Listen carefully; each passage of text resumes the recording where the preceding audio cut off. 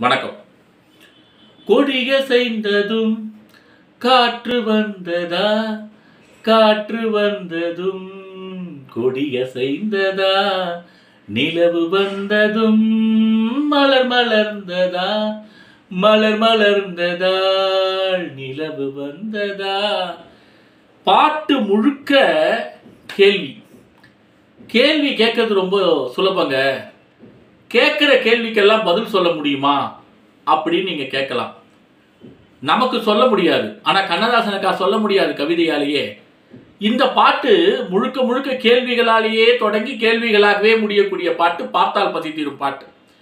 நாம இன்னைக்கு நிகழ்ச்சியில் பார்க்க இருக்கக்கூடிய ஒரு பாட்டு வந்து கேள்வியும் இருக்குது அந்த பாட்டில் பதிலும் இருக்குது. அதில் ஒரு முக்கியமான சுவையும் இருக்குது.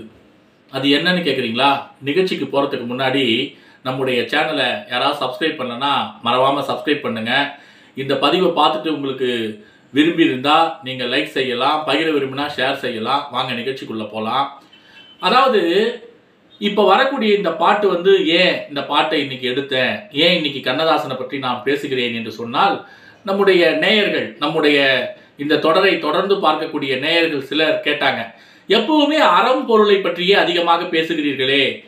இன்பத்து பாலை பற்றி வள்ளுவர் எழுதியிருக்கிறாரே படைத்திருக்கிறாரே அதை பற்றி இதுவரையில் ஒரு குரல் தான் சொல்லியிருக்கீங்க அப்படின்னு கேட்டாங்க. அகநானூறு திருக்குறளும் என்ற தலைப்பில் ஒரு இதுதான் சொல்லியிருக்கீங்கன்னு கேட்டாங்க.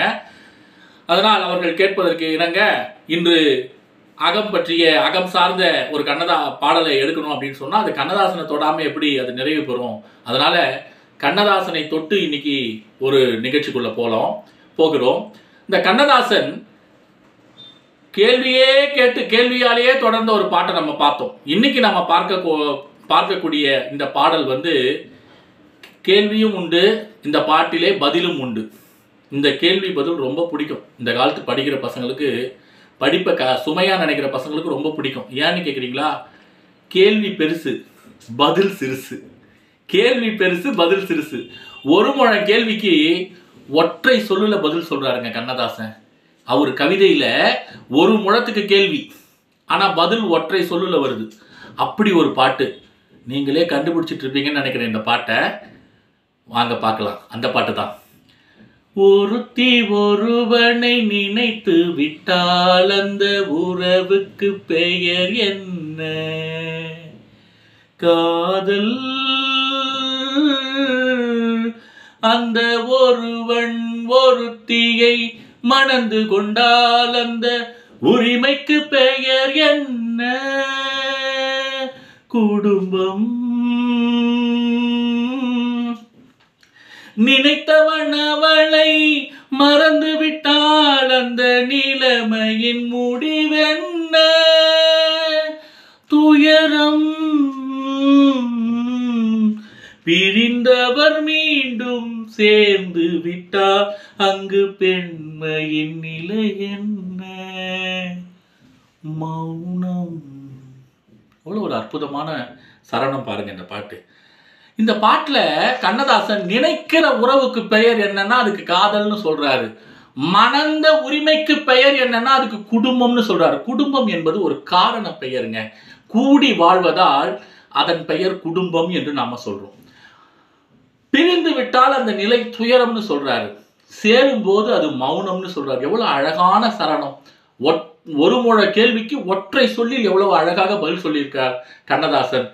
இதே கருத்தை நம்ம வள்ளுவ பெருமான் ஒரு பெண் குழந்தைய பார்க்குறாரு. சின்ன வயசுல பாலை ரொம்ப விரும்பி குடிப்பாவ. வீட்டுக்கு வரா. திருமணம் ஆன பிறகு பாலை காய்ச்சி தாய் கொடுக்குறா. இல்லைம்மா வேண்டாம். நான் பால் குடிக்கிறது இல்லை அதுவும் சூடாக குடிக்கிறது இல்லை பழரசம் ஏதாவது இருந்தால் கொண்டு வாங்க அப்படின்னு சொல்லி கேட்குறான் பழரசமே உனக்கு பிடிக்காதே? ஏன் இப்போ பழரசம் குடிக்கிறேன்ற? பால் தானே நீ குடிப்ப? அப்படின்னு தாய் கேட்கும்போது அவள் சொல்கிறாள்.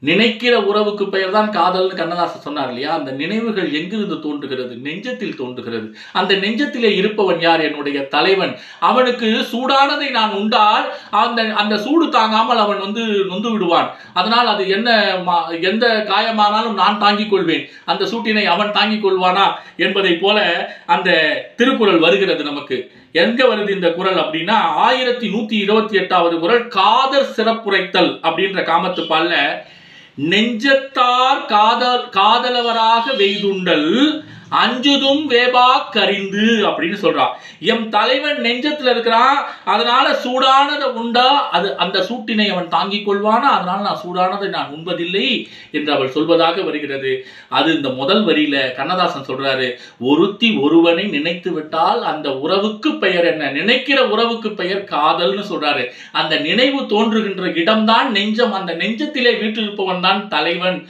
முதல் வரிக்கு முடிஞ்சுது. அடுத்த வரி இருவரும் திருமணம் செய்து செய்து கொள்கிறார்கள். அதனால் உருவாகிறது குடும்பம்.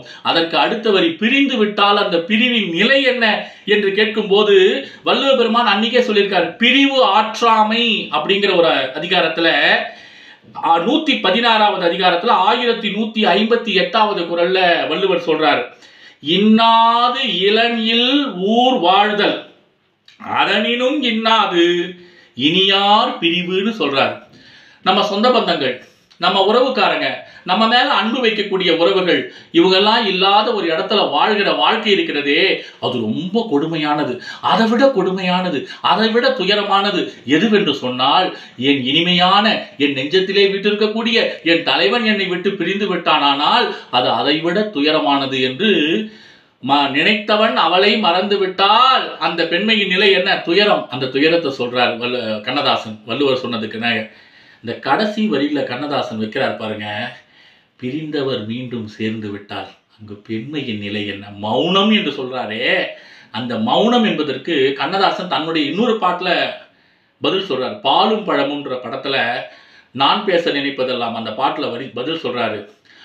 சொல்லென்றும் பொருள் என்றும் மொழி என்றும் இல்லை மொழி என்றும் இல்லை. சொல்லாத சொல்லுக்கு விலை ஏதும் இல்லை விலை ஏதும் இல்லை. இந்த மௌனம்ன்றது விலை மதிப்பு மு- விலை மதிக்க முடியாதது என்று கண்ணதாசன் சொல்றார். ரொம்ப அருமையான ஒரு கருத்துக்கள். இதை நான் உங்களிடையே இன்று பகிர்ந்து கொண்டேன். இந்த பதிவு உங்களுக்கு பிடித்திருக்கும் என்று நம்புகிறேன். நன்றி வணக்கம்.